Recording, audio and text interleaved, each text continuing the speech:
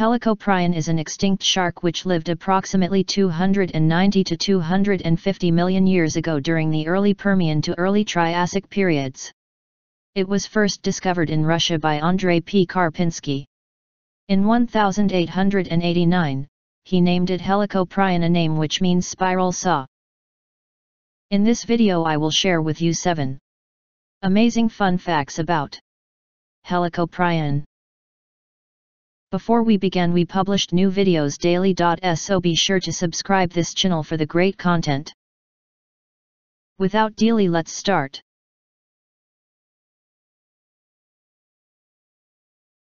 Lived during the early Miocene to the late Pliocene periods swam in oceans all over the world.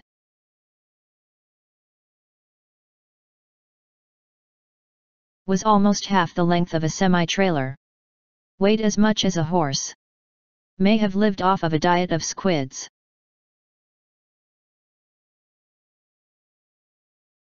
Andrei P. Karpinski found was the teeth of this shark because the soft tissues and cartilage didn't fossilize. A coil of triangular teeth that was curled into a coil that confused him as he tried to figure out how the shark used these teeth. First, he tried to see if it would work on the fin and then later decided that it must have gone into the mouth of the shark. Today, paleontologists agree that this animal's circular teeth were attached to its lower jaw.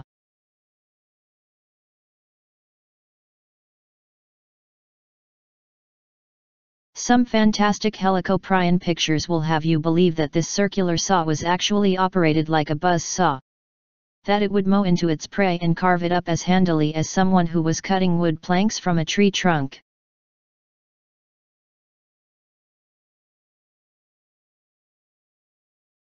While Helicoprion looked and acted like a shark, scientists now believe that it wasn't a shark. They believe that they are related to chimeras cartilaginous fish that separated their lineage from sharks some 400 million years ago.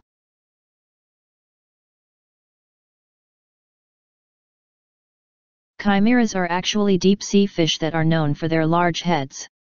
Sharks have replaceable teeth and chimeras have grinding bone plates used to grind up soft-shelled marine animals. Helicoprion are believed to have been 25 feet long and weighed approximately 1,000 pounds.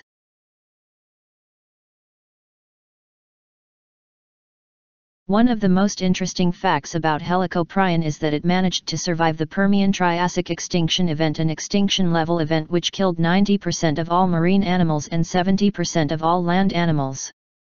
However, its victory was short-lived because just a few million years later, this shark would head into extinction. Please hit like and subscribe our channel for more amazing content in the future.